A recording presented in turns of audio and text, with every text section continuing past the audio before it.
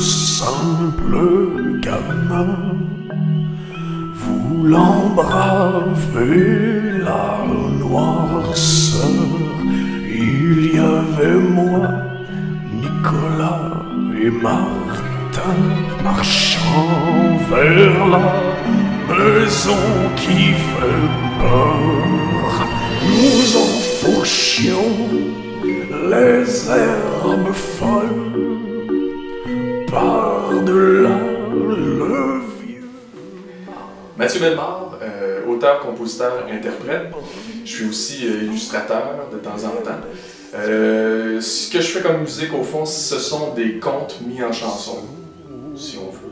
Euh, donc, tout dépendant de ce que l'histoire raconte, l'univers musical change. Puis, mon intention, c'est d'amener les gens, au fond, dans des univers qui sont autres que les leurs. Donc, au fond, j'offre aux gens une fugue, une fugue de leur quotidien, puis je les amène euh, jusqu'où leur imagination veut bien les amener, finalement. Bon, pourquoi je, parle, je chante en français? Euh, en fait, simplement parce que c'est ma langue.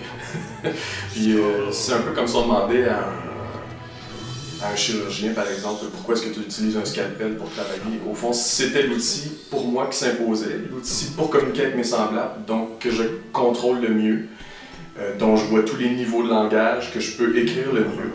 Euh, donc ça s'imposait simplement parce que c'est- ma langue, puis je veux communiquer avec les gens que j'aime, avec euh, je veux que ma mère comprenne. c'est pas mal ça.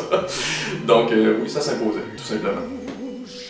Donc, les projets, des projets de spectacle qui s'en viennent. Le 8 avril au Bistrot in Vivo. Ça, on a bien hâte. Puis sur scène, on est, on est six en tout, avec beaucoup de musiciens qui sont de, de- de styles très différents. J'ai un violoncelliste, clarinettiste, guitare, des percussions, toutes sortes de choses. Et toute cette musique-là amène les gens un peu partout. Et ce que j'aimerais beaucoup faire aussi, c'est un secret, pas vraiment un secret, c'est des chansons illustrées. Donc continuer à faire des dessins qui vont accompagner les chansons. Euh, et pour le reste, c'est continuer à écrire des chansons, à développer toutes sortes de petits univers qui vont continuer à permettre aux gens de s'échapper un peu. De la... Un, deux, trois petits